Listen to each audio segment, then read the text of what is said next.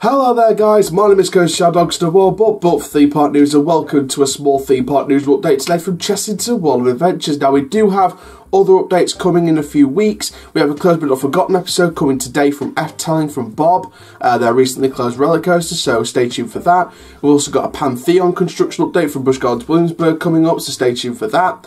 But this video is on Chessington World of Adventures Resorts. Now, please like, comment, subscribe, and click the notification bell so you never miss a YouTube video. And for now, guys, let's zoom into the video. So this is from Chessington World of Adventures, and it's the approval on the plans for the drop tower replacing Rameses Revenge for the 2021 season. Now, we've done videos on this way more in the past. Uh, we did a couple of really long videos between 10 to 22 minutes or 25 minutes or something like that. Two videos between those lengths. Um, like first, one of the videos was the first reactions to the news, and of course, going in more detail about some of the more details we got when more information was revealed. Now, this ride is going to be fantastic. I think it's a perfect move for Chessington World of Adventure Resort. I think it's perfect for their target market. Um, you know, Rameses Revenge was a 1.4 meter height restriction ride. This could be, in my opinion, a 1.2, uh, which is perfect for their family market. Uh, again, perfect for Chessington World Adventure Resort. Now, of course, one big thing to mention here is the relocation of Flying Jumbos onto the old site of the Blue Carousel that closed in 2016. Now, you've got to remember uh, that Flying Jumbos will be opening its new location for the 2020 season, along with the new mini log flume uh, and rerouted and rethemed Tony's Crazy Cars into a safari theme. A uh, bit of an update on that. Those uh, we don't have official confirmation that the plans have been accepted for that either. However, uh, with work going on over the close season to sort of start uh, work on Tony's and start getting them in the log flume parts and stuff like that, we can pretty much assume it's, the project's going to go ahead, even though we haven't had official confirmation of the plans being accepted. So with the drop tower then with Flying Jumbos, the reason why the Flying Jumbos is being relocated from its site is for construction access into the Rameses Revenge site, ready for 2021 construction.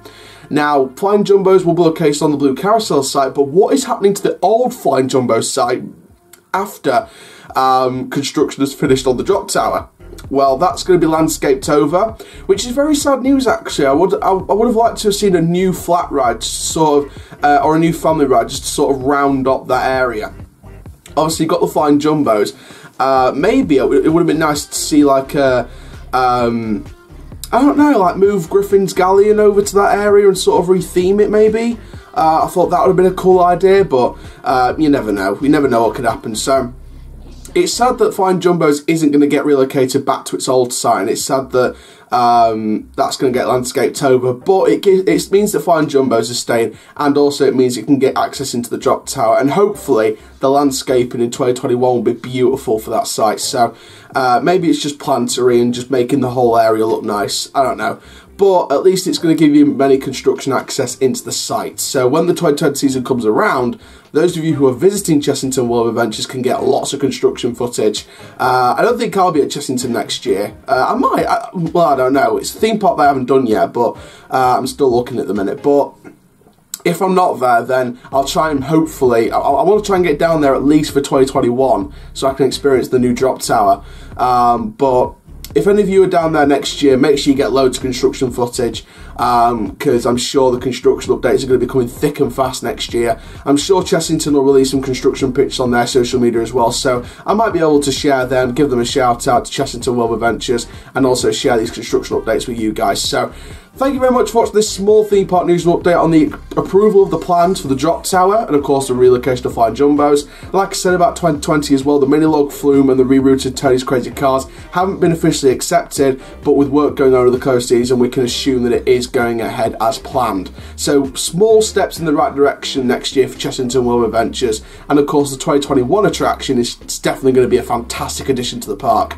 Thank you very much. Make sure you like, comment, subscribe, and click the notification bell so you never miss a YouTube video. Special shout out goes to Brian Galeas. If you want a shout out in our next video, please comment down below. And my name is Coaster Chall. Keep on the coast alive, and I'll see you guys in the next video very, very soon. Take care. Have an awesome day, my friends.